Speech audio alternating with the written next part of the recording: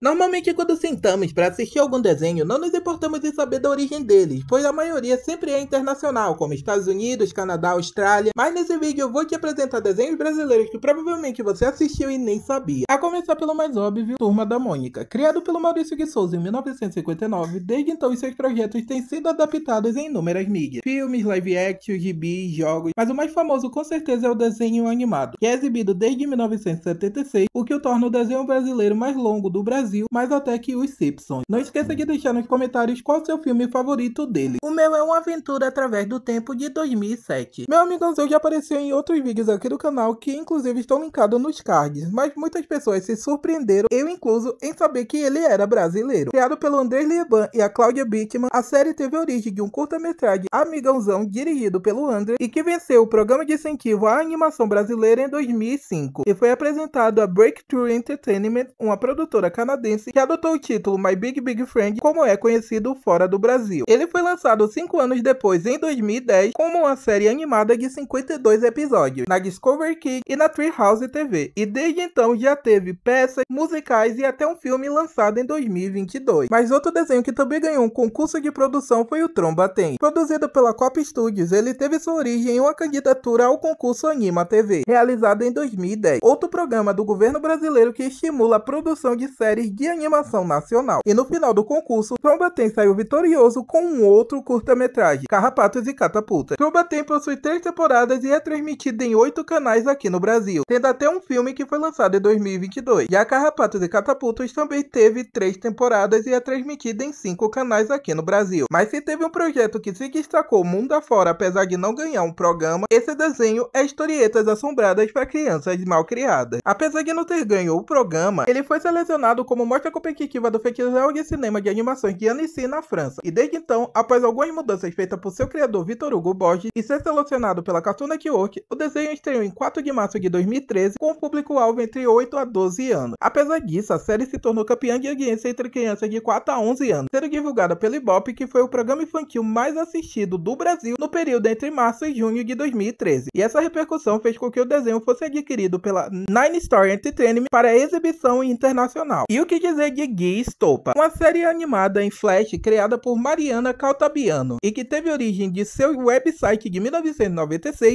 Guinho. O cartoon produzido e lançado em 2008 satiriza inúmeros desenhos da cultura pop, como Naruto, Hello Kitty e até produções originais do Cartoon Network. Baseados no estilo de humor slapstick e comédia sem sentido, ele possui cinco temporadas e foi originalmente produzido um filme antes de se tornar uma série animada. E bom galera, esse foi o vídeo, espero que vocês tenham gostado. Não se esqueça de compartilhar conferir esses vídeos que estão aparecendo na tela. Eu fico por aqui e eu fui.